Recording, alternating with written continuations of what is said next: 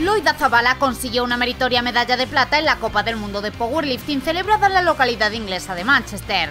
La deportista extremeña levantó 95 kilos en la categoría de hasta 50 y de este modo sigue avanzando de cara a conseguir el billete para Tokio.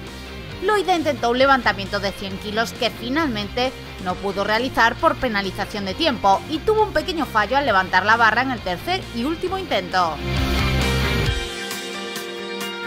Por su parte, Monsalcova finalizó en cuarta posición al levantar 95 kilos en su tercer intento en la categoría de hasta 79.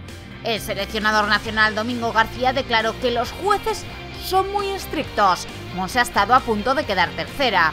Finalmente, cuarto lugar y el camino para Tokio para ella se complica un poco. Solo queda Dubai para apurar las opciones de ir a los Juegos.